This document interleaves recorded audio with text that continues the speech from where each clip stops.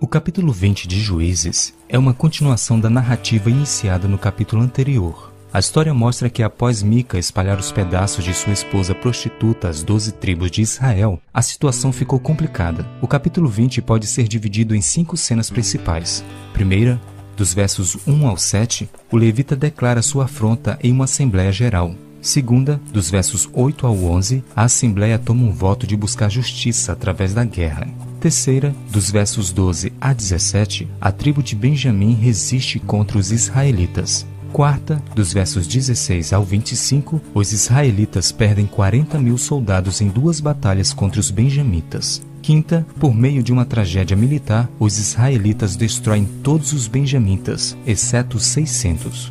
O último verso do capítulo descreve a terrível cena do final da guerra nas seguintes palavras: Os homens de Israel voltaram para os filhos de Benjamim e passaram a fio de espada tudo o que restou da cidade, tanto homens como animais, em sua suma tudo o que encontraram, e também a todas as cidades que acharam puseram fogo. Todas estas cenas de guerra, morte e destruição não eram raras nos tempos de Israel.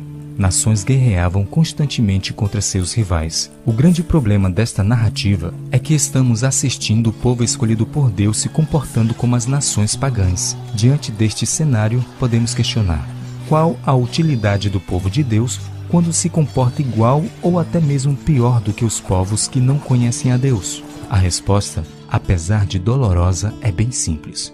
O povo de Deus se torna irrelevante diante da missão para a qual foi chamado. Lembre-se que Israel foi resgatado do Egito para ser a luz do mundo e o sal da terra. Ele deveria ser um exemplo de justiça, amor e paz para as nações vizinhas. Porém, não era isso que eles estavam transmitindo. O que se via era morte, guerra, vingança e assassinato. Assim, ao invés de iluminar o mundo, eles faziam parte das trevas morais de sua época. Sabe, embora seja fácil acusar Israel de ter se afastado do plano de Deus, é possível nos enxergarmos nele também. De certa forma, o cristianismo carrega a mesma missão que foi dada ao povo de Israel no passado. Porém, devemos nos questionar: que mensagem estamos passando para as pessoas ao nosso redor? Representamos bem o Deus que seguimos ou transmitimos uma mensagem negativa acerca do Evangelho?